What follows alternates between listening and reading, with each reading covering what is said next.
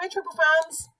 Here is a pile of books. You're not Triple fans, you're Triple students. You may or may not be fans. It's bad luck if you're not. So here is a pile of books.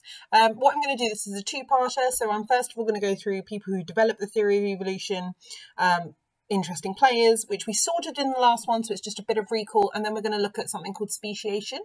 Um, so it's a bit of a two-parter. The first one probably doesn't require extensive. It's just a little bit of history, and then we're going to go into why Darwin, why his theory of evolution, and then we're going to look a bit more depth into speciation. And the next lesson, we're going to look at how uh, the idea of modern genetics came about. So here we. I just wanted to talk to you about this lady. Um, this is Mary Anning, um, and she sells seashells by the seashore that is what she is most famous for. You don't need to know any of this. It's just really interesting. She's known as the mother of paleontology. Um, I don't know why I kept all this in here. It's just interesting. She was named after a sister who died in a house fire. I, it's, it's horrifying. She and her brother were the only survivors among 10 children born, which is just unbelievable. And she survived a lightning strike that killed three siblings the lightning turned her into a bright and observant child. It, I mean, incredible. Like, it's a really good example. So I was talking uh, about a student who shared some videos of some birds. Birds give birth to many, many offspring, but only a few survive. Um, and that was true of humans until we became really, really good at keeping people alive. Um, um, and obviously contraception. Um, she didn't go to college, etc., because women women didn't do that. But she used to, um, she used to collect uh, seashells and fossils, and she became an expert in fossils, particularly fossil feces, which I found quite funny. Um, there is a letter concerning um, a discovery of a plesiosaurus over there.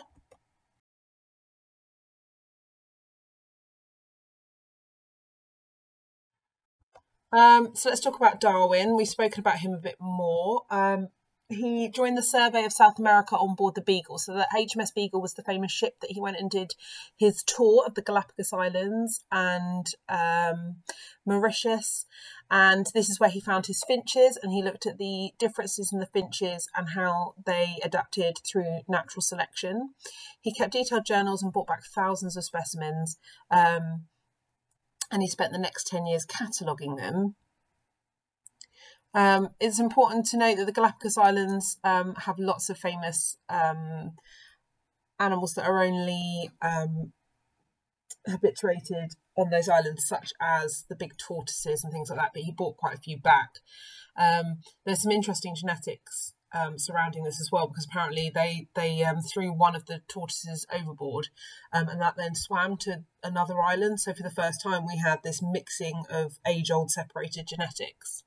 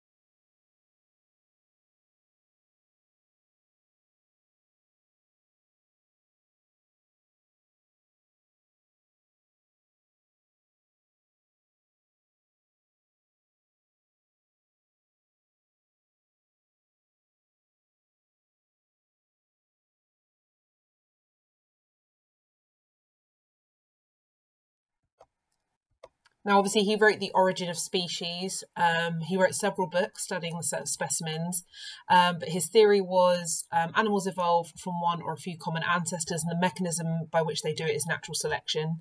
Um, he found similar animals across the globe, which is really interesting, and similar biomes with different animals. Um, the best adapted animals survived, and their children generally had those adaptations, and that's kind of the key part of it. Similar animals animals around the globe, particularly where we have this splitting of the land masses, splitting of Pangaea. Very interesting that you have similar organisms on land masses that were connected.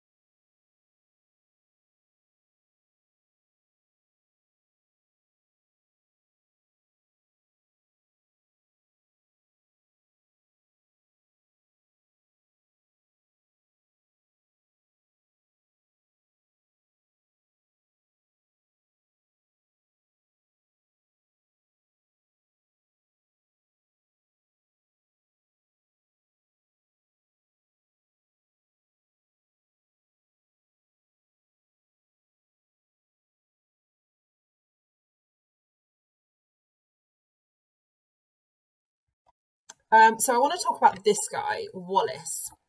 Um, he was known as the father of biogeography. Um, that jaunty, jaunty man. What a lovely looking man.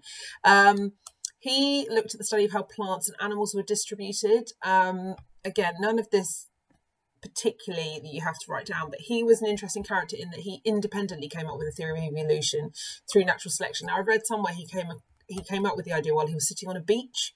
Um, and he was the reason why Charles Darwin um, was kind of pressured into releasing his Origin of Species because he came up with a very, very similar but with different evidence theory. So he looked more about plants and animal distribution, but he did come up with this idea of natural selection himself as well. So it seemed like it was the time for it. Um, and we spoke about Lamarck last week. So um, biologist, and, and he sort of came up with his own evolutionary theory. He was the first guy to use the term biology, but he came up with his own evolutionary theory, which was um, which is no longer believed um, due to evidence. Talk to quickly about why Darwin. Um, why didn't Darwin publish earlier? Why didn't he want to? Well, it was a controversial topic due to um, the fact that he was religious, um, as was most people about at the time, and religious beliefs about how the earth developed. Um, um, obviously, was that God created all creatures, but he came up with the first um, the first idea that God wasn't a creator, and so that's obviously very controversial. Um, he also couldn't explain everything, so he couldn't explain how useful characteristics just turned up on some organisms. Um, he didn't know anything about genes, genetics, mutations. Um, he didn't know how um, things were passed on from um, from parents to their offspring because genes, the idea of a gene wasn't wasn't about until 50 years later. Um, obviously, there were other people like Lamarck who had their ideas, um, but new evidence helped develop the theory. So, new evidence of genes aligned with Darwin's theory, but didn't align with Lamarck's theory. Um, um, what else? I'm just trying to think. Oh, I've put along the side genes, mutations. No one had heard those. Moths and um, this is more evidence. So the black peppered moths that you got last time was really good evidence about how um, mutations allow for natural selection.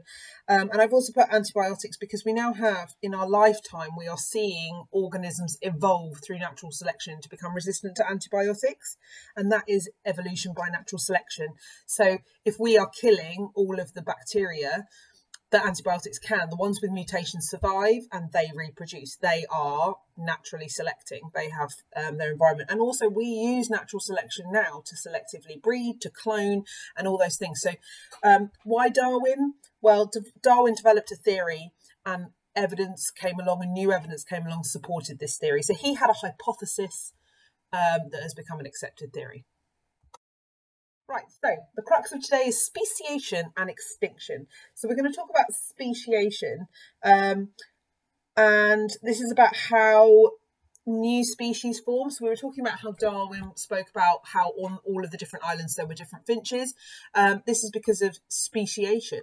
So we're going to talk about that now. So you need to list three ways in which two populations of the same species could become isolated. Maybe pause. I, I already did pause. Um, so, how could they become isolated? Well, look habitat lost in the centre, mountains forming, earthquakes, um, human interaction. There's lots of things. Um, oh, that's a really sad picture in the bottom. So, generally, speciation has to uh, occurs when isolation is the first step. So you need to know what a species is. You need to know uh, ways in which species become isolated and how new species arise. And you have to use the term speciation and isolation. So let's define species before we begin. So a species is a group of organisms with similar, they still have variation, but with similar characteristics that can reproduce uh, to form fertile offspring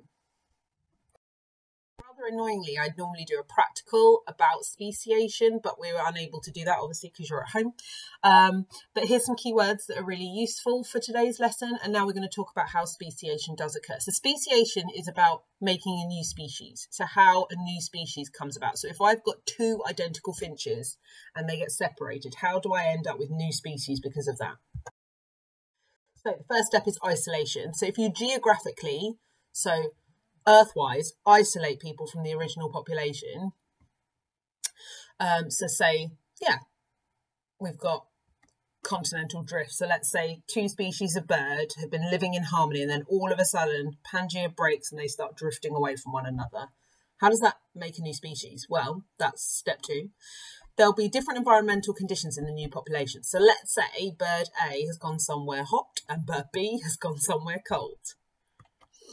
Um, you are likely to get mutations within those populations, uh, which will create new variations. So, for example, if bird A has gone somewhere hot, um, bird A with the longer limbs um, and longer wings, so they can have a larger surface area to lose heat more efficiently, um, might uh, be better adapted to surviving, or they might then um, be different from other birds, and so that is a mutation. Or you might get a mutation where the birds have gone somewhere cold, that you might get a bird that's born with loads and loads of fluffy wings, or something along those lines. Natural selection occurs whereas over many years the best adapted individuals survive and reproduce. So our friend with the larger surface area to lose heat more efficiently mutated better, his genes are going to be passed down, etc. The new population eventually changes to the point where it can no longer interbreed with the old population because those changes are so inherent and, and, and long lasting. So, for example, if we're talking about Darwin's finches, um, you um, over time, uh, the ones uh, on the islands full of nuts will have had a harder beak, and the ones with the islands full of worms will have a longer beak. And eventually, they're so different from one another, they can no longer breed. Speciation occurred.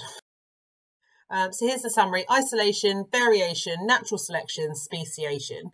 So, um, so you can see over here, there's a little picture of a bird eating bugs. Um, can you see all the green ones are getting eaten? So which ones are natural, via natural selection going to survive and maybe eventually become a new species? Well, it's going to be the acorny type looking ones. Um, if you see as well, those are amazing, those beautiful uh, sea creatures. They are all originally were part of the same species. And now look how different they are. So make sure you've got that flowchart in your book. I've got a summary on the next page. So population becomes isolated, isolated, isolated. Um, then it shows variation, possibly from mutation. Some individuals are more likely to reproduce, and therefore the isolated population changes so much it's no longer able to breed with the old population to produce fertile offspring. Um, I have a feeling this is cut off the bottom. Um, that's annoying. Um, so uh, put the following in order. So maybe pause. So the third one is the first one. Second one is the second one. First one is the third one. And the bottom one is the fourth one really good example of an exam question, um, which I think is lovely because you're picking out an explanation for the evolution. So you're picking out the speciation, which I really like. So the dodo lived on a small island in the middle of the Indian Ocean. Ancestors were pigeon-like birds which flew to the island millions of years ago. There were no predators on the island. There was a lot of fruit on the ground. The fruit became the main diet of the birds. Gradually, the birds became much heavier and lost their ability to fly and evolved into the dodo. Suggest an explanation for the evolution of the pigeon-like ancestors. So, suggest an explanation. Well, they've been separated geographically because they have flown to a small island. Um, and let's see the explanation for the evolution. So I've got some highlighted, I think. There we go. So there were no predators on the island. There was fruit on the ground. So therefore, they became land dwellers. They got heavier and lost their ability to fly. So over time, through natural selection, they become heavier and have had no need to fly. How did the dodo get smaller wings? Advantages. What would be the advantage of having a fatter body? What would be the advantage of no longer having wings? And how does the new variation spread to the whole population? So, how did the dodo get smaller wings? Well, there probably was a mutation with a dodo with smaller wings. Um, and then that has been passed on uh, through natural selection. Um, also wasn't wasting energy flying as well. What would be the advantage of having a fatter body and what would be the advantage of no longer having wings? Well, fatter body is going to keep you warmer, it's going to sustain you. No longer having wings means that you um, wings give you a larger surface area as well. So if you're reducing the surface area, you lose heat slower.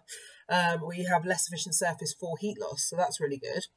How does the new variation spread to the whole population? Well, that is through the genes, through natural selection, through reproduction.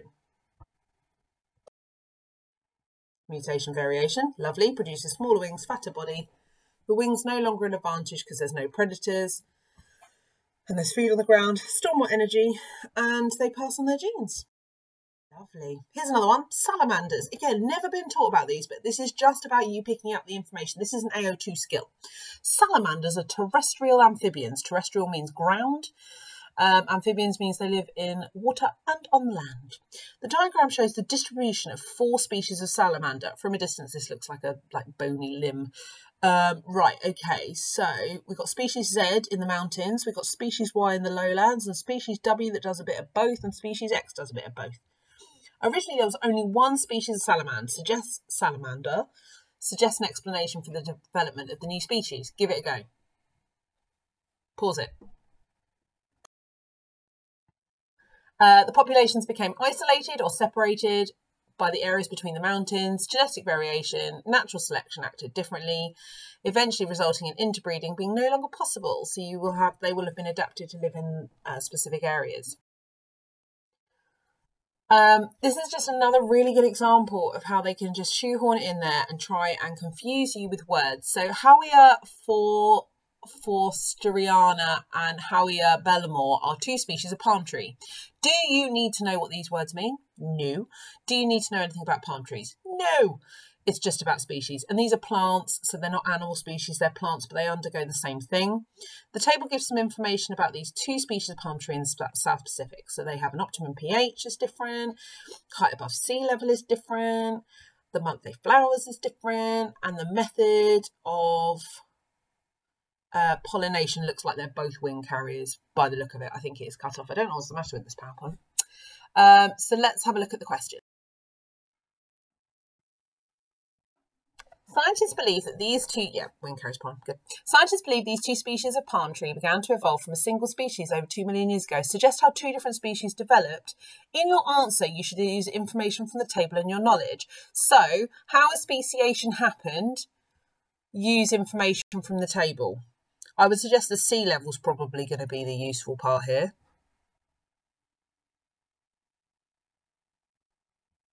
Make sure you pause.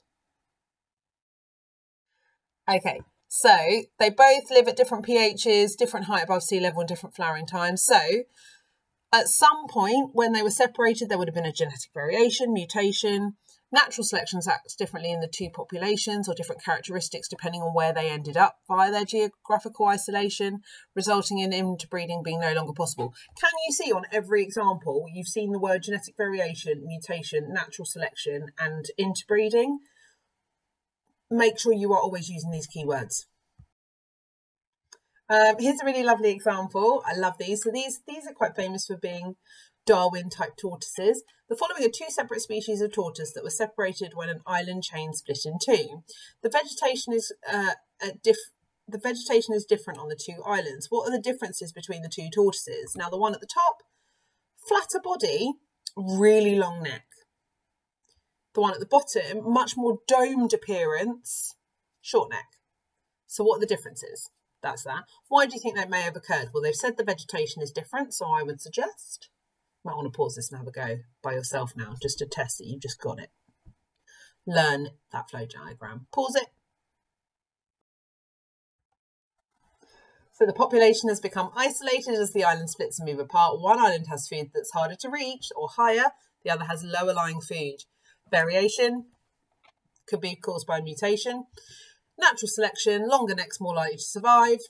Two populations become different, they can no longer interbreed. Speciation follows the same pattern, so just learn those phrases isolation, mutation, variation, natural selection, speciation. All of the Asians. Um, another one. Look at those. That awful. It's not awful. It's marvelous. Uh, Latin word, orin to Genesis. Genesis. genesis, to Genesis. Gen. Gen. Tubergenensis well, that was fun. I can't say it still. Ancient human, um, so Mayan, uh, which lived in the trees. As the earth warmed and grasslands replaced forest areas over much of Africa, some individuals took to the plains to live. So they came down from the trees. Over time, they grew taller, longer legs, and led to a new species, Homo habilis.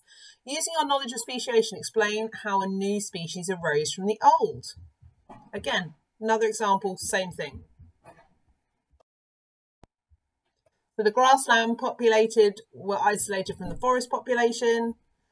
There's variation, mutation for height, maybe. The taller individuals reproduce and the taller population develop, no longer reproduce with the old population. And that is how humans, one day, a human that had straighter hips stood up um, and that's how we got Homo erectus. And over time, Homo erectus then could not reproduce with Homo habilis in the same way that Homo sapiens, so wise man, would no longer be able to reproduce with Homo sapiens. Nope, Homo erectus, standing humans. Um, I hope that's quite simple. I don't think it's a particularly difficult concept. Next time we'll do um, genes, uh, the development of knowledge of genes.